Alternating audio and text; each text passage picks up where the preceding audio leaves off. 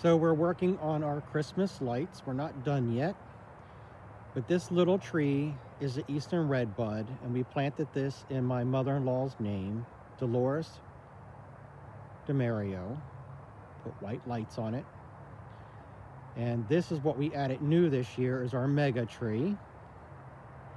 It's 20 feet tall, 3,500 lights. So that's what we added new this year. Walking up on it. Know it's a little shaky, but there you go.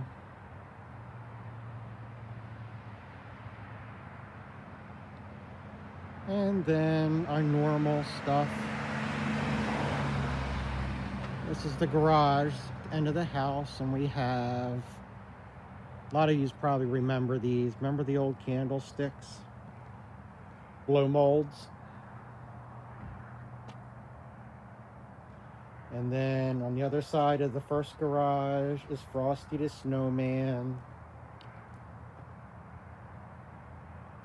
And then on the other side of the other garage, we have another candlestick.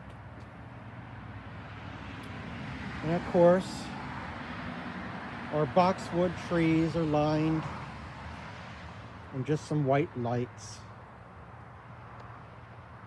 And another one. And then in between two bushes, we have Mary and Joseph and a caroler. No, the baby Jesus isn't there because he hasn't been born yet. We're working on it. Mary's still pregnant. Anyways, another bush.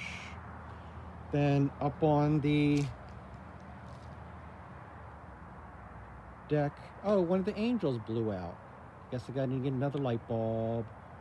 Put up on the front porch, all done in lights. And then on this side of the deck is three trees done in white. but the um, upper level of the house is all dark.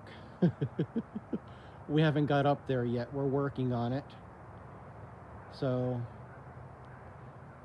I don't do any lights up there until someone's here to hold the ladder. Just my thing.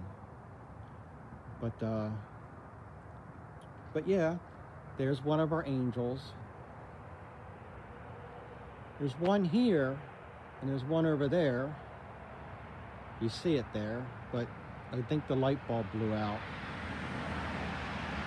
Yep, there it is. Guess I got to change a light bulb. But there you go. So we got our mega tree. 3,500 lights going to town over there. I need to find something to put on top, a star or something.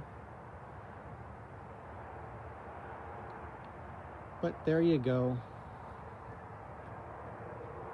Hope everybody out there is staying warm, having fun, and taking care of one another.